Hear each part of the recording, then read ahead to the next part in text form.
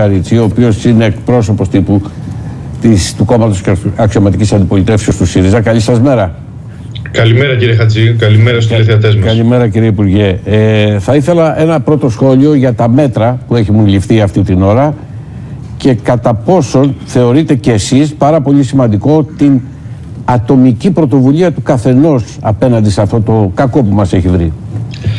Νομίζω κύριε Χατζή ότι επειδή ακριβώς ε, το κακό που μας έχει βρει είναι πρωτόγνωρη, μια πρωτόγνωρη κατάσταση. Ακριβώς. Εμείς αυτό το οποίο έχουμε πει εξ αρχής είναι ότι πρέπει όλοι μας και εμείς ως αξιωματική αντιπολίτευση το πράττουμε αυτό από την πρώτη στιγμή να καλούμε τους πολίτες να συμμορφώνονται με τις προτάσεις ε, της επιστημονικής κοινότητας, επιστημονικής επιτροπής του Υπουργείου έτσι ώστε να υπάρχει η δυνατότητα για το μεγαλύτερο κατά το δυνατόν περιορισμό της εξάπλωσης της, ε, της Κατά συνέπεια πρέπει κύριε Υπουργέ να ακούμε όλοι, με να ακούμε όλοι αυτά που λένε οι γιατροί. Αυτό είναι το θέμα. Οι γιατροί θα μας καθοδηγήσουν.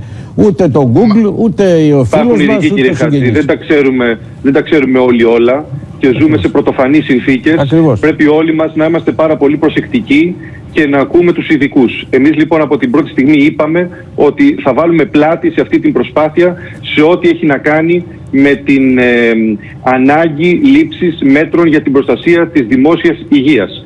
Αυτό είναι το ένα σκέλος. Και αφορά και την ατομική ευθύνη των πολιτών. Και επειδή και τις τελευταίες μέρες υπάρχει και μία, αν θέλετε, προσπάθεια να, από κάποιους να υποτιμηθεί και η προσπάθεια που γίνεται από την ελληνική κοινωνία από τους πολίτες. Ας δούμε τι γίνεται και στις άλλες χώρες της Ευρώπης. Νομίζω ότι οι Έλληνες πολίτες έχουν δείξει στη συντριπτική τους πλειονότητα μια σημαντική συμμόρφωση με αυτά τα οποία ζητάει η επιστημονική επιτροπή. Ναι, για να συμμορφωθεί κάποιος να, το, να το αναγνωρίζουμε συγγνώμη, αυτό. Συγγνώμη, να το αναγνωρίζουμε αυτό. Συγγνώμη, είναι σημαντικό συγγνώμη, κατά τη γνώμη μου. Συγγνώμη, αν μα ακούτε. Για να, συμμορφω, για να συμμορφωθεί κάποιος και να είναι συνεπής. Χρειάζεται να πιστεί από τα επιχειρήματα. Κατά συνέπεια, ο ιατρικός κόσμος, ο επιστημονικός κόσμος της χώρας και το κράτος εγώ δεν ξεχωρίζω τις κυβερνήσεις, είναι ο ένας είναι το κράτος.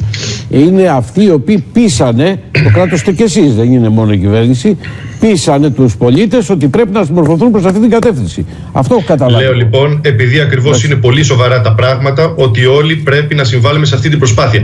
Αυτό είναι το ένα και πράγματι η ατομική ευθύνη έχει τη σημασία της, είναι σε αυτές τις συνθήκες σημαντική. Από εκεί και πέρα όμως, αυτό το οποίο έχει ακόμα μεγαλύτερη σημασία είναι η συλλογική ευθύνη όπως αυτή εκφράζεται από τη συντεταγμένη πολιτεία και στην προκειμένη περίπτωση από την κυβέρνηση. Και εμείς, επειδή θέλουμε να είμαστε κοινωνικά χρήσιμοι, είπαμε, βάζουμε πλάτη εκεί που πρέπει, βάζουμε πλάτη στα δύσκολα. Ταυτόχρονα όμως πρέπει να επισημαίνουμε τις ολιγορίες, πρέπει να επισημαίνουμε την κρισιμότητα των στιγμών και κυρίως την κρισιμότητα για τη στήριξη του δημόσιου συστήματος υγείας. Αυτό αυτή τη στιγμή είναι το μείζον. Ναι, η κυβέρνηση προχώρησε σε μια κίνηση, προχώρησε σε μια κίνηση η οποία είναι σημαντική. Διαχρονικά το σύστημα υγείας, ναι. Ε, ναι. όταν το έφτιαξε ο Ανδρέας Παπαντρέου ο αείμνηστος, ε, διαχρονικά είχε προβλήματα, πέρασε καλές μέρες, πέρασε κακές μέρες. Και ο συμπατριώτης μου ο Γιώργος ο Γεννηματάς, ναι.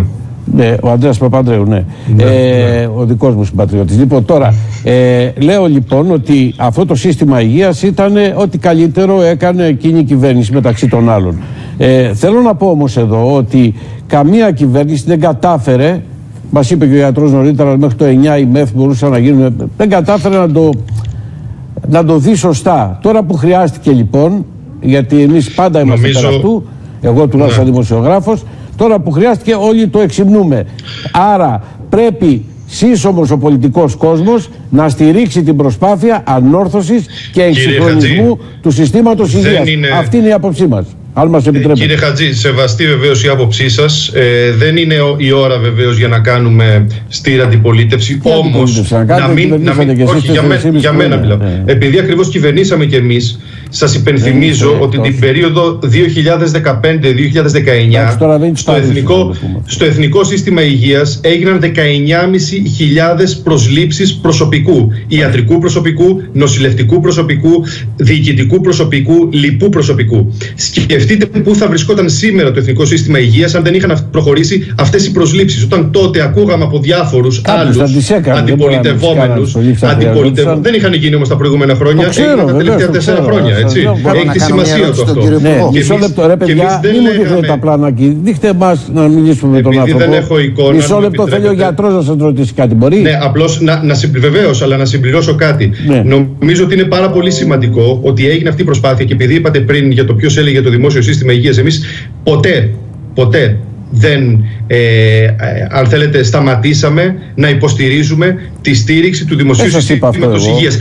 Χαίρομαι εγώ ειλικρινά που βλέπουμε αυτό το διάστημα, το τελευταίο διάστημα και με την πρωτοφανή αυτή κρίση η οποία έχει ενσκύψει ότι όλο και περισσότεροι ε, συνενούν σε αυτήν την λογική. Ότι πρέπει το δημόσιο σύστημα Μισό λεπτό να σας κάνει ένα ερώτημα ο γιατρός, ο κ. Βασιλακόπουλος. Και βέβαια να ενισχυθεί, βεβαίως. Μέσα από την καταστροφή, κύριε Υπουργέ, βεβαίως. θα συμφωνήσουμε όλοι ότι το Εθνικό Σύστημα Υγείας πρέπει να ενισχυθεί. Απλά μας δίνετε ένα νούμερο πόσους ναι. προσλάβατε στο Εθνικό Σύστημα Υγείας. Δεν μας είπατε πόσοι ναι. συνταξιοδοτήθηκαν τα αντίστοιχα χρόνια. Και δεν μας είπατε, με συγχωρείτε λίγο, ναι, ναι, ναι. πόσοι από αυτού που, προσλ...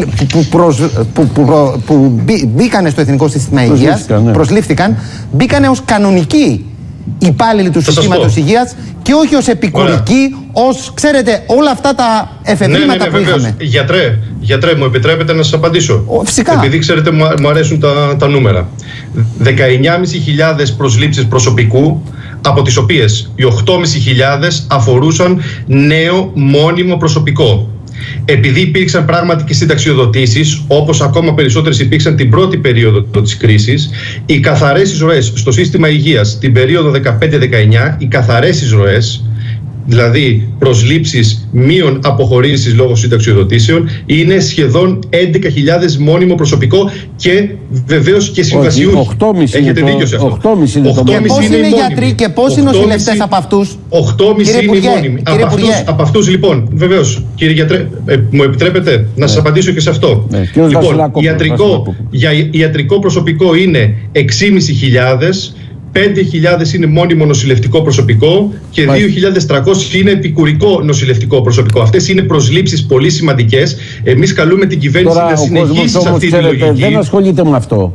Ο κόσμος ασχολείται να σωθεί. Νομίζω ότι ε, για να σωθεί ο ναι, κόσμος χρειάζεται στήριξη το σύστημα υγείας, έτσι δεν είναι; Εγώ δεν έχω αντίρρηση να τα λέτε. Βεβαίως έχετε και υποχρέωση να τα λέτε. Αλλά, αλλά κύριε Υπουργέ, πρέπει. Συγγνώμη, κύριε Βασιλακοπουλά. Εμείς δεν τα λέμε, δεν τα λέμε, επικριτικά. Τα λέμε για να γνωρίζει ο κόσμος την πραγματικότητα και ακριβώς για να σωθεί ο κόσμος. Αυτό είναι το μείζον. Αυτή τη στιγμή μας ενδιαφέρει να σωθεί ο κόσμος. Όλους αυτό μας ενδιαφέρει.